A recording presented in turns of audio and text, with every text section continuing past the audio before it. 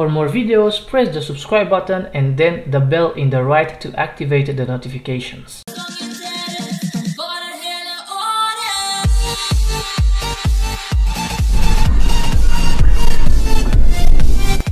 Hi there guys and welcome to another YouTube video. Today I'm gonna show you how to switch scenes in Streamlabs OBS with hotkeys.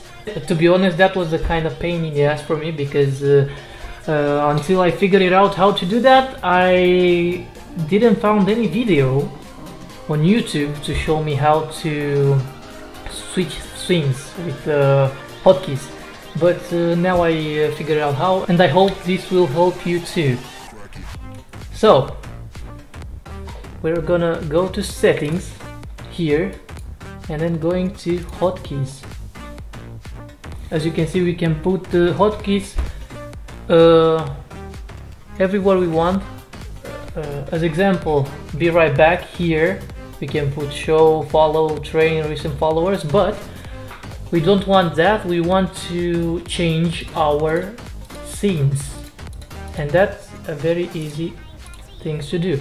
Go uh, at be right back or whatever you your uh, scene's name is. And down here you're gonna see switch to scenes I put control 3 because it's the third one.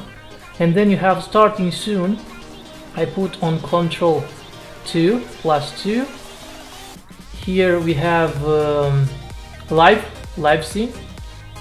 And we have uh, control 1 because it's the first one and webcam and control 4 after you do that or whatever hotkeys you want to put I just put control and a number. You're gonna press control 1 it's here live stream then control 2 control 3 and control 4 so uh, that's pretty much it. I hope i solved your problem. And uh, yeah. Uh, i hope you enjoyed the video. Don't forget to subscribe give a like and i'll see you soon. Bye bye